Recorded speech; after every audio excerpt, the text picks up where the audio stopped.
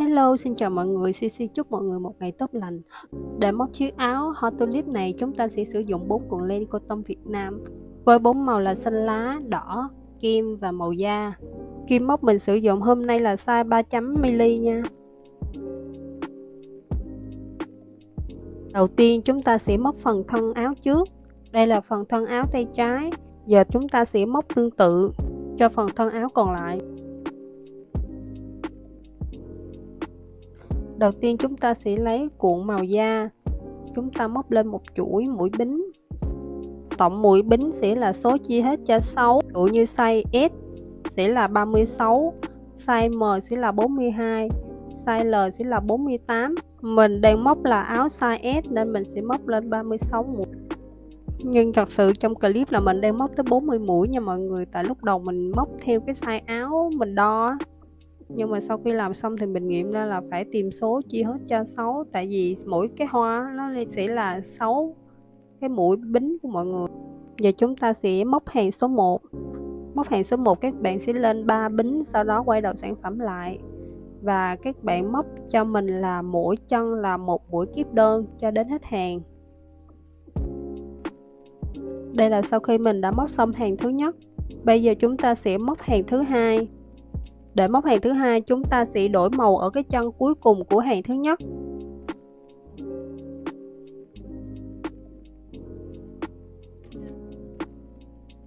Mỗi lần các bạn đổi màu thì các bạn nhớ lấy hai cái cọng len thừa các bạn sẽ để qua và chúng ta gút lại một mũi bính như gì á cho nó sẽ chắc và nó không có sẽ bị tuột len chúng ta sẽ một mũi bính, sau đó các bạn quay đầu sản phẩm lại. Chân đầu tiên, các bạn sẽ móc lên một mũi đơn. Tiếp tục, các bạn lên hai mũi bính. Lấy len. Các bạn sẽ đếm. 1 2 3 các bạn móc vào chân thứ ba. Một mũi kép đơn. Sau đó, các bạn tiếp tục móc hai mũi bính. Rồi lấy len, móc vào chân vừa rồi. Thêm một mũi kép chung chân nữa. Mũi này chúng ta gọi là mũi quạt. Tiếp tục các bạn móc hai mũi bính. Các bạn sẽ đếm 1 2 3 móc vào chân thứ ba, một mũi đơn.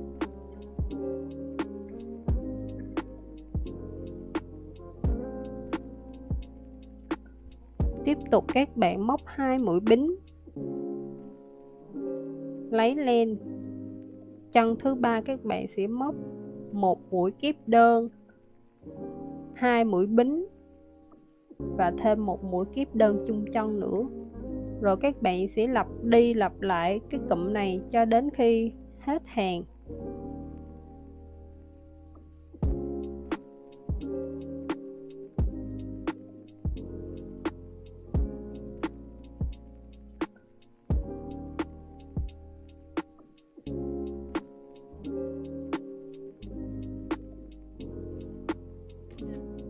Bắt đầu móc hàng thứ ba, chúng ta sẽ đổi màu len. Chúng ta sẽ lấy màu len đỏ nha.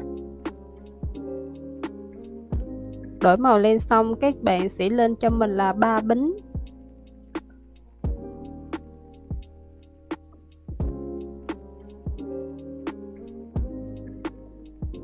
Cái đầu sản phẩm lại.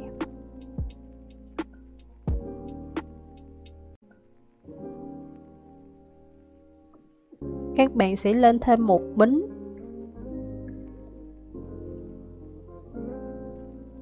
các bạn lấy len, sau đó các bạn sẽ móc vào cái phần mũi quạt mới nãy á. Chúng ta móc vào đây là hai mũi kép bong bóng, tức là hai mũi kép hờ. Sau đó chúng ta sẽ rút lại thành một mũi chung chân.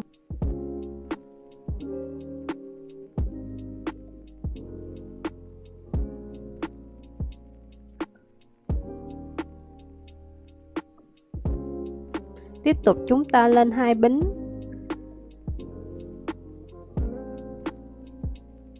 Lấy lên và móc chung chân, vào chân vừa rồi. Hai mũi kiếp bong bóng.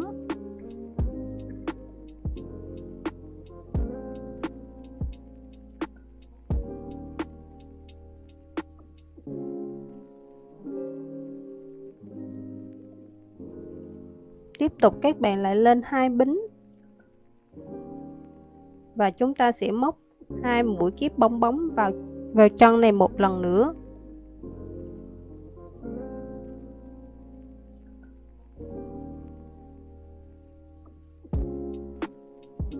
Vậy là xong, chúng ta đã có một hoa tulip, ba cánh. Tiếp tục các bạn lặp lại các bước vừa rồi để móc những bông hoa còn lại cho đến khi hết hàng.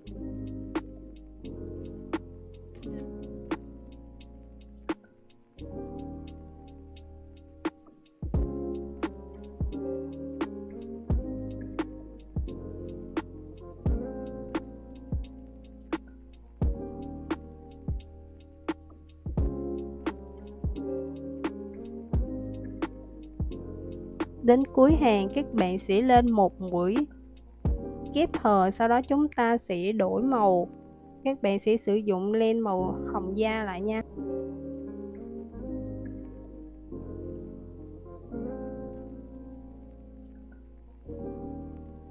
Các bạn sẽ lên cho mình ba bính, sau đó quay đầu sản phẩm lại.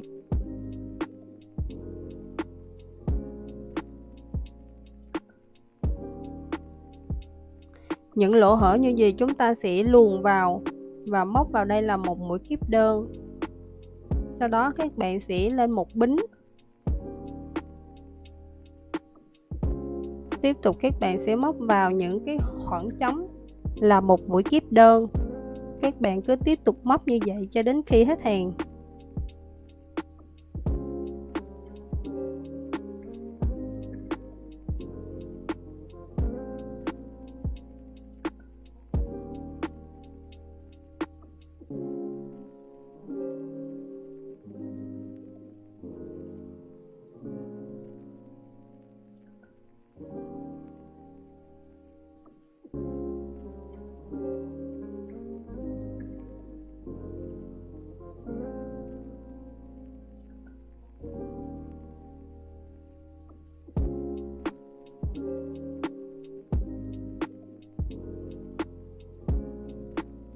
Và đây là mình đã móc đến cuối hàng thứ tư.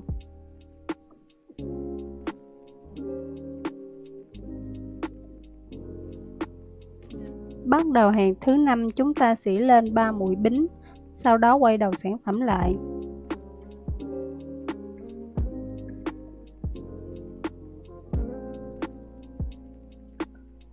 Chân đầu tiên, các bạn sẽ móc vào đây một mũi kiếp đơn chân thứ hai nè chúng ta cũng sẽ móc vào đây một mũi kép đơn.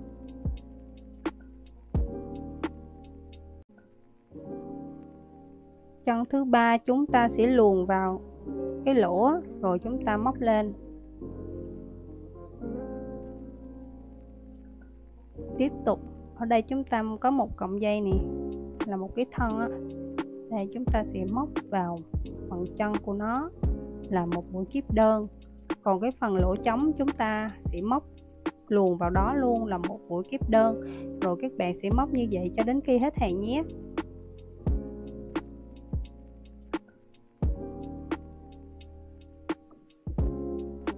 Đây là sau khi mình đã móc xong hàng thứ năm. Các bạn sẽ lặp lại các bước từ hàng thứ hai cho đến hàng thứ năm, cho đến khi các bạn đến hàng 17 đây là size áo cho hình mình đang mặc. Muốn áo dài hơn, các bạn sẽ móc thêm hàng nhé. Và đây là sau khi mình đã hoàn thành xong hàng thứ 17. Đây là mặt phải của áo và đây là mặt trái của áo, các bạn nên để ý để chúng ta sẽ móc áo được đẹp hơn. Chúng ta sẽ vào nách bằng một cái bông hoa là 6 chân. Các bạn sẽ lặp lại các hàng từ hàng 2 cho đến hàng 5 đến cái điểm đánh dấu giờ chúng ta sẽ móc phần quai áo. Các bạn sẽ móc từ phần nách vô hai bông. Và từ hai bông đó các bạn sẽ móc lên à, ba hàng hoa nha. Và đây là mình đã hoàn thành xong hai mảnh áo phía trước. Phần thân sau mình sẽ lấy à, tổng cái số mũi của phần thân trước, cộng cho 6 các bạn cũng sẽ móc lên 17 hàng giống như là móc phần thân trước. Chúng ta đo phần chiếc nách ở phần thân sau cũng bằng à, như phần thân trước nha. và các bạn sẽ móc lên thêm 4 hàng hoa nữa giống bằng cái phần thân trước vậy. Và giờ chúng ta sẽ móc phần tay áo. Đầu tiên chúng ta sẽ lên một chuỗi mũi bính. Và cái chuỗi mũi bính này các bạn sẽ đo nó vừa với cái vòng tay của các bạn nha. Có thể các bạn móc uh, dài thêm một xíu rộng rãi ra một chút nha hàng đầu tiên chúng ta cũng sẽ móc lên là mũi kép đơn và mũi chân. Rồi hàng thứ hai chúng ta sẽ lên ờ, 3 mũi bính, quay đầu sản phẩm lại. Chúng ta sẽ móc vào chân đầu tiên một mũi kép đơn. Rồi các bạn lên một bính. Sau đó các bạn bỏ một chân, móc vào chân thứ hai một mũi kép đơn tiếp tục các bạn cũng sẽ lên một bính và bỏ một mũi, móc vào chân thứ hai, một mũi kép đơn. Rồi các bạn móc lặp đi lặp lại cho đến khi hết hàng.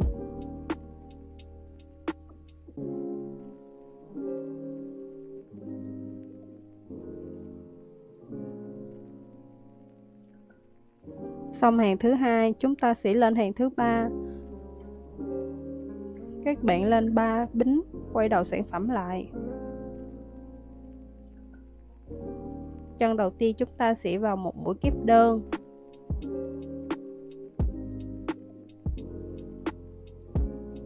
Rồi các bạn sẽ móc vào cái phần lỗ là một mũi kép đơn. Còn phần có thân, các bạn sẽ móc vào phần chân của nó một mũi kép đơn.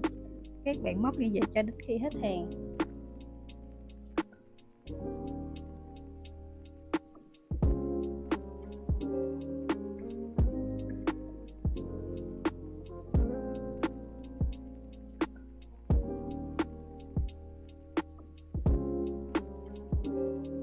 Đây là cuối hàng thứ ba.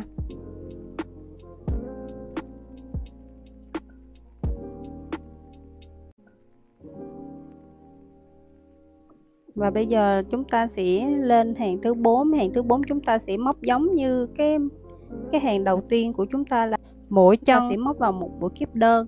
Các bạn sẽ lặp đi lặp lại cái hàng như vậy cho đến hàng số 19 hoặc các bạn muốn áo của mình, cái tay nó dài hơn, các bạn có thể móc nó dài hơn nha.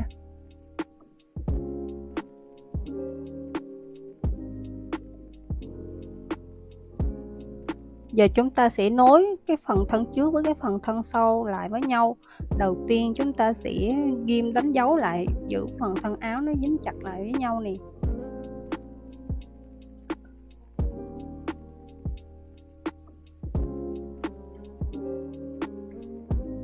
Các bạn sẽ lấy len màu hồng da. Chúng ta sẽ nối phần thân trước với phần thân sau.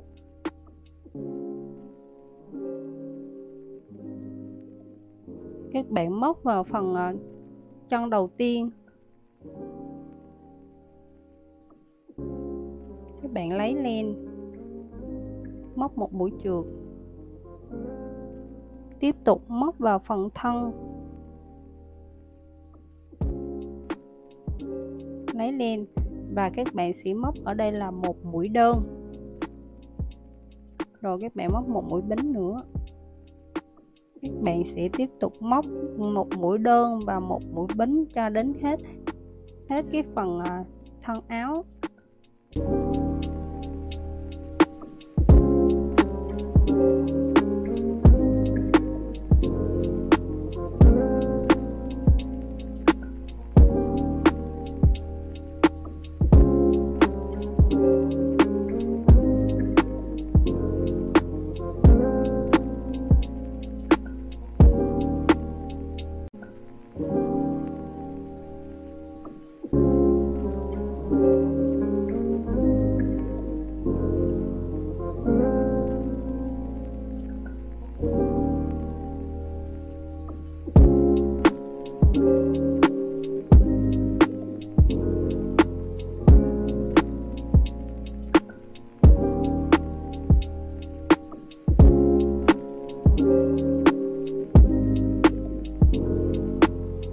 Đây là sau khi mình đã nối hai phần thân áo lại với nhau nè. Bạn nào thích mặc áo dạng ba lỗ như vậy thì cũng được nha. Và đây là cái phần tay áo sau khi mình đã móc xong. Bây giờ chúng ta sẽ nối phần tay áo lại với phần thân áo. Trước tiên chúng ta sẽ gút lại một đầu của phần ờ, tay áo nha. Chúng ta sẽ sử dụng bằng kim đen.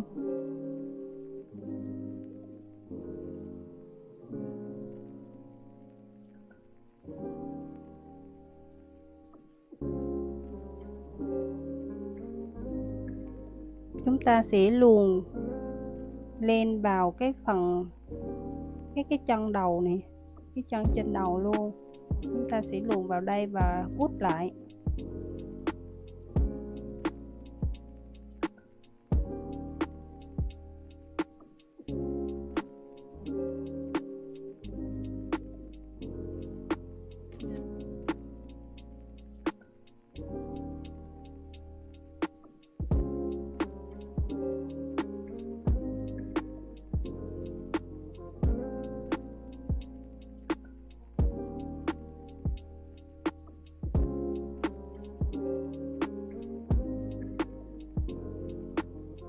Đơn giản như vậy là chúng ta đã tạo được cái độ phòng cho tay áo rồi nha.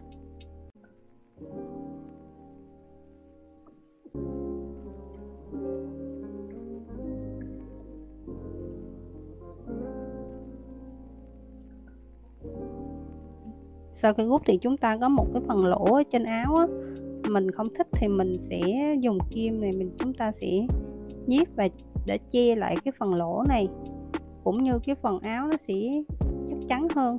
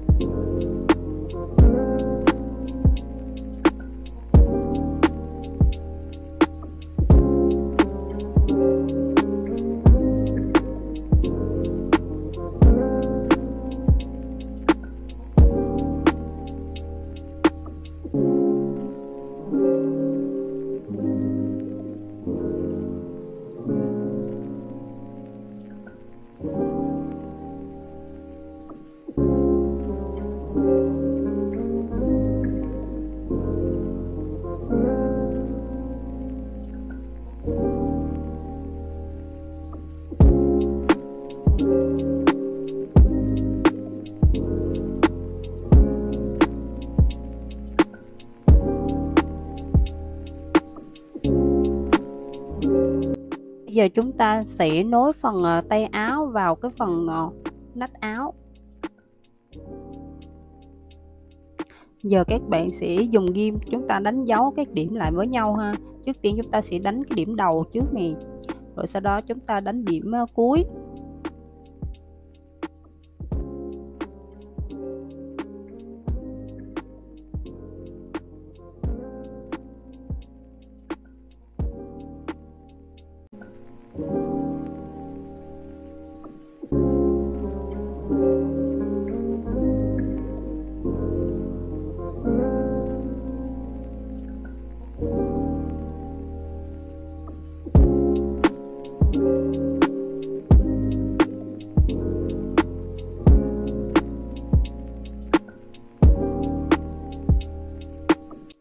Sau khi đến hai điểm đầu và điểm cuối thì chúng ta sẽ đánh những cái điểm ở giữa.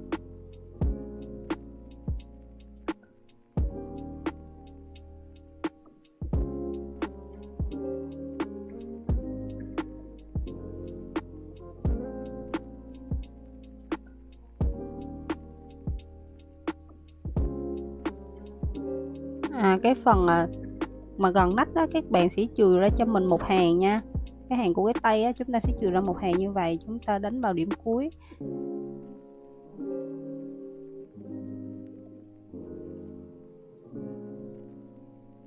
Và chúng ta sẽ làm tương tự với cái phần tay còn lại.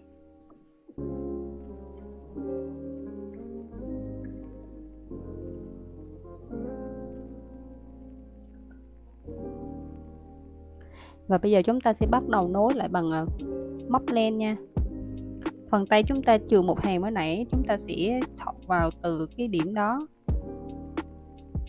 Ta đâm kim qua. Đây chúng ta sẽ trừ hàng này. Rồi chúng ta sẽ móc với cái phần cái phần giữ nách cái phần mà cái đường mà mới nãy chúng ta nối á. Cái phần thân áo nó sẽ có một cái đường ở giữa đó chúng ta sẽ nối bắt đầu ở điểm đó. Bạn sẽ sử dụng các mũi chuột, sau đó là chúng ta sử dụng mũi móc đơn rồi chúng ta lên một bính, rồi lại tiếp tục mũi đơn. Giống như chúng ta mới nối cái phần thân áo như vậy thì cái phần tay này chúng ta cũng sẽ sử dụng mũi giống như vậy nha. thank you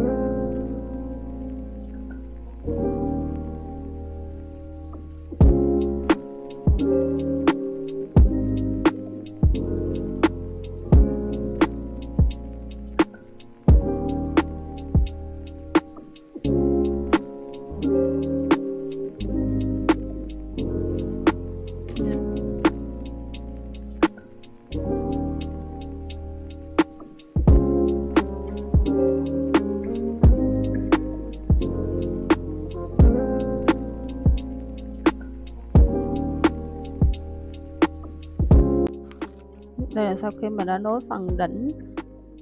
Giờ các bạn sẽ nối luôn cái phần tay còn lại. Đến cái phần nách, chúng ta có chừa một hàng mới nãy chúng, để chúng ta nối cái phần tay. Hai cái phần tay lại với nhau. Các bạn sẽ sử dụng những cái mũi móc đơn, giống như mới nãy, chúng ta đã móc. Thì chúng ta sẽ móc ra ngoài trước. Sau đó chúng ta sẽ móc từ ngoài vào trong lại một lần nữa.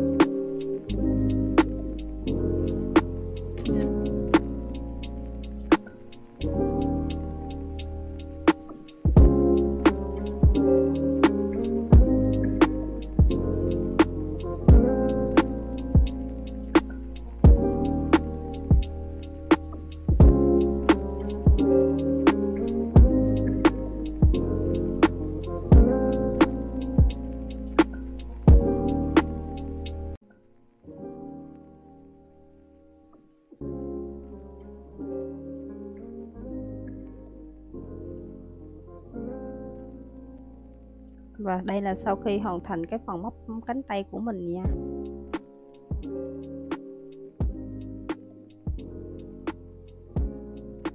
Đây là sau khi mình hoàn thành cái tay của mình, màu trắng nó không bị lộ còn bên đây mình làm, lần đầu mình làm bằng màu da nó bị lộ không có đẹp.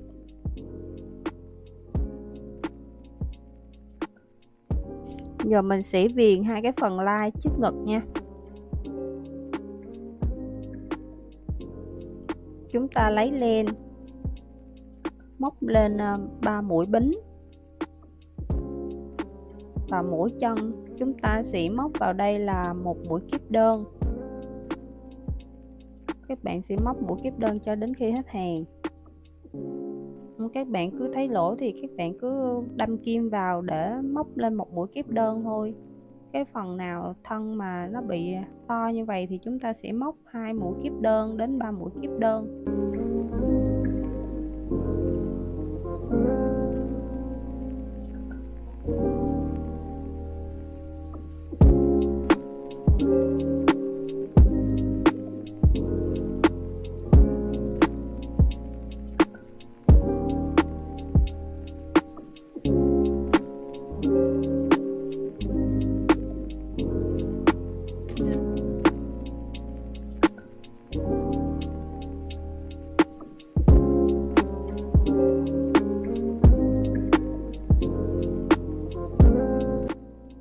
Bạn sẽ móc tương tự cho bên còn lại luôn.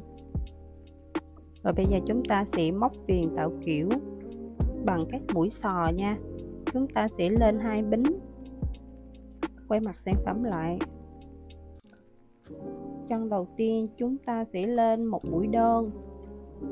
Các bạn lên một bính. Các bạn đến đến chân thứ ba, chúng ta sẽ móc vào đây là bốn mũi kiếp đơn.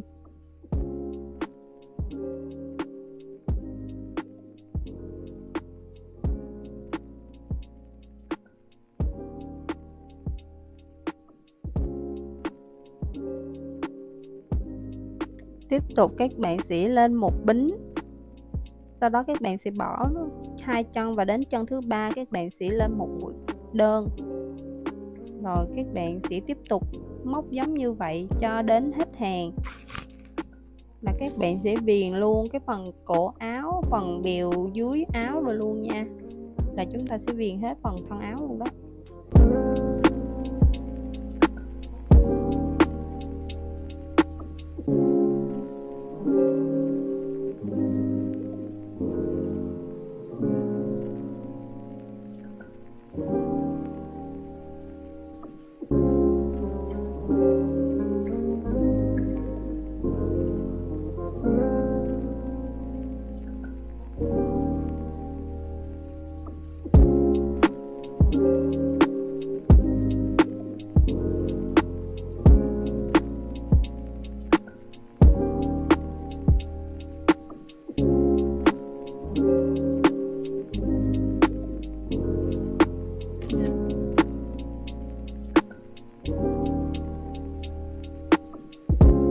Và đây là sau khi mình đã viền xong phần viền áo. À, coi như là phần áo chúng ta đã hoàn thành xong đến 95% rồi. Chúng ta sẽ móc thêm cái phần dây áo để chúng ta móc vào phần thân trước nữa là xong. Phần dây áo này thì chúng ta sẽ móc ờ, một chuỗi dãy bính. Các bạn sẽ đo theo cái chiều dài các bạn thích nha. Của mình là tầm một mét rưỡi đến 2 mét á. Sau khi móc xong chuỗi dây bính thì chúng ta sẽ bắt đầu dùng mũi trượt.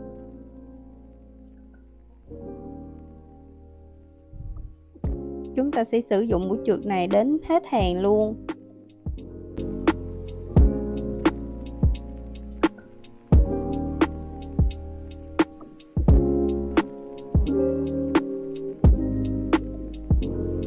Sau khi móc xong quá phần dây này chúng ta sẽ xỏ vào phần áo như vậy ha.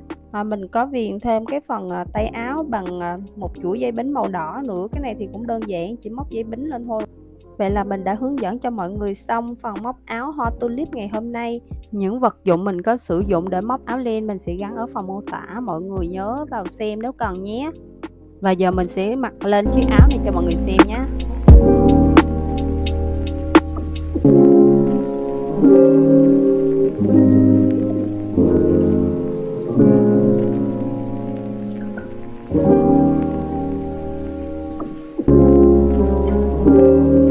Cảm ơn mọi người đã xem hết video. Nhớ ủng hộ mình bằng cách like và subscribe kênh youtube này nhé.